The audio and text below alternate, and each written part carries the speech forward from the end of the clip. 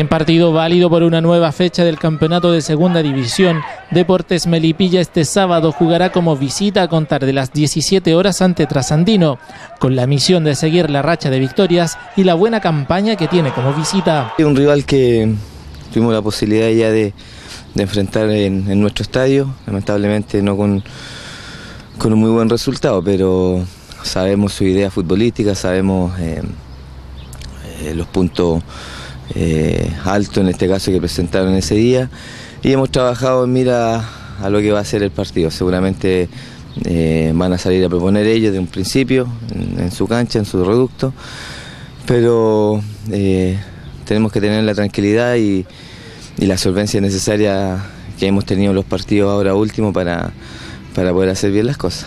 ¿La idea es recuperar esos puntos eh, perdidos acá en esta primera fase?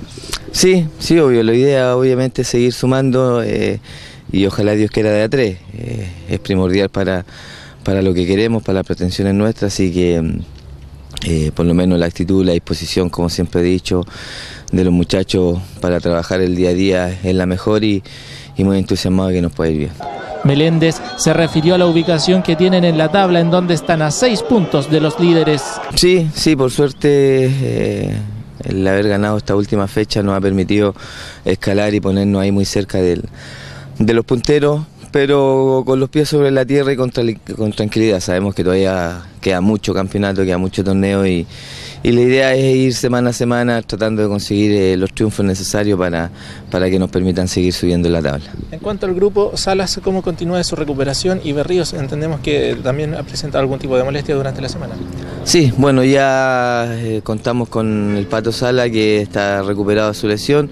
Lamentablemente no así con Sandro que se volvió a resentir después del partido frente a Maipo Quilicura y lo más probable es que no lo podamos tener. Tiene la zona del empeine y el tobillo bastante inflamado con un edema ahí bien complicado, así que, pero bueno, eh, está, están prácticamente casi todo en condiciones y, veremos ahí eh, cuáles son los elegidos. Para este partido el técnico tiene solamente la duda de quién ingresará por Sandro Berríos, manteniendo prácticamente la misma oncena que comenzó el partido anterior.